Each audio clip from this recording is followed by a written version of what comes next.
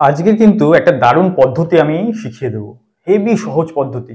ধরুন, আপনার মন চঞ্চল, অস্থির হয়ে আছে। ধরুন, আপনি খুব রেগে আছেন, আপনি খুব অশান্ত হয়ে আছেন। ধরুন, আপনার কারোর উপরে খুব রাগ হয়েছে। হয়তো আপনার রাতে ঘুম হচ্ছে না, রাত্রে ছটফট করছেন। অথবা বাজার থেকে আসার পর কোনো একটা খবর পেয়ে আপনার মন হয় দুঃখে ভরে গেছে, না হলে অস্থির হয়ে গেছে, না হলে রাগ হয়েছে, না হলে অশান্ত হয়ে গেছে।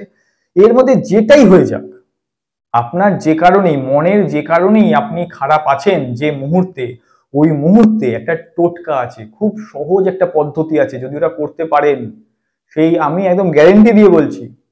গ্যারেন্টি যে দশ থেকে বারো মিনিটের মধ্যে আপনার মন ঠিক হয়ে যাবে। কি সেই পদ্ধতি? খুব সহজ পদ্ধতি। দেখুন, আমাদের যোগাতে একটা কথা আছে, প্রাণায়াম নামে। আপনারা অনেক শুনেছেন প্রাণায়াম কাকে বলে?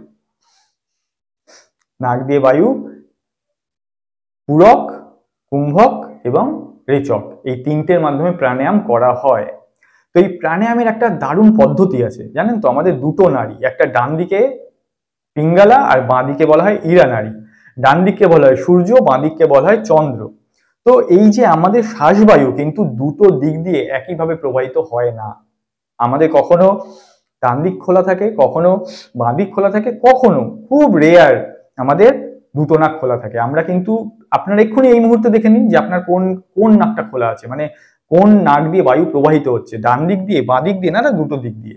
এটা কিন্তু সবসময় হয় না। আজকের দিনটা শুধু রোজ, অন্তত এক ঘণ্টা অন্তর, আধ ঘণ্টা অন্তর আপনি দেখতে থাকুন যে আপনার কোন নাক কখন খোলা আছে? দুটো নাক কিন্তু এক সময় খোলা থাকে না। খুব রেয়ার কিছু সময় দুটো নাক একসঙ্গে খোলা থাকে।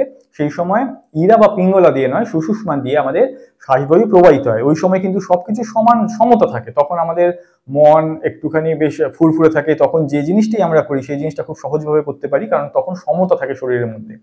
আর কখনো কখনো আমাদের যখন ডান দিকটা, ডান দিক দিয়ে বায়ু প্রবাহিত হয়, তখন এক রকমের কাজ করে শরীর, বাঁ দিক দিয়ে যখন প্রবাহিত হয়, তখন এক রকমের কাজ করে শরীর। তো এটা হলো একটা বেসিক্যালি একটা বেসিক জিনিস, একটা বেসিক ফান্ডা। তো এইটার ওপর বেশি গুরুত্ব নেয় গুরুত্বটা কোথায়? যখন আমাদের এই মন বিভিন্ন কারণে অস্থির হয়ে থাকবে, চঞ্চল হয়ে থাকবে, তখন আমরা সেই মুহূর্তকে, মনকে কি করে? আমাদের বশীভূত করব। খুব সহজ পদ্ধতি। কি করবেন? ওই মুহূর্তে, যেই মুহূর্তে আপনার এই প্রবলেমটা হচ্ছে, যখনই বুঝছেন আপনার খুব রাগ হচ্ছে, আপনার সেটার জন্য ভালো লাগছে না, সেটা থেকে আপনি মুক্তি পেতে চাইছেন, আপনার অস্থির অস্থির লাগছে, আপনি সেইটা থেকে মুক্তি পেতে চাইছেন, আপনার দুঃখ হচ্ছে, আপনি সেটা থেকে মুক্তি পেতে চাইছেন, আপনার মন খারাপ, আপনি সেটা থেকে মুক্তি পেতে চাইছেন, আপনার ঘুম আসছে না রাত্রিবেলা, আপনি সেটা থেকে মুক্তি পেতে চাইছেন। খুব সহজ একটা পদ্ধতি। কি করবেন? প্রথমেই আপনি দেখুন আপনার কোন নাক দিয়ে শ্বাসবায়ু প্রবাহিত হচ্ছে। এটা হবে প্রথম কাজ। ধরুন, আপনি দেখলেন আপনার বাঁ দিক দিয়ে শ্বাসবায়ু প্রবাহিত হচ্ছে। ওই মুহূর্তে আপনি বাঁ দিকটাকে এবার চেপে দিন। বাঁ দিকটা চেপে দিয়ে ডান দিক দিয়ে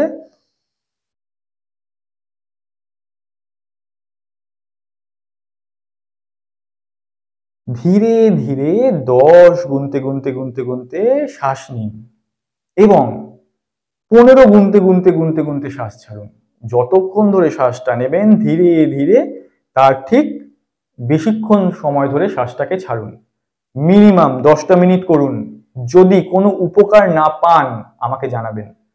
যদি কোনো রকম কোনো অসুবিধা হয়, তাহলেও আমাকে জানাবেন। যে নতুন কোনো যদি অভিজ্ঞতা হয়, সেটাও আমাকে জানাবেন। আমাকে কমেন্ট করে জানাবেন যে আপনার কি প্রবলেম হচ্ছে বা সেটা যদি আপনি উপকার পান, আপনি উপকার পেয়েছেন, এটাও জানাবেন। ঠিক আছে? ভালো থাকবেন। নমস্কার।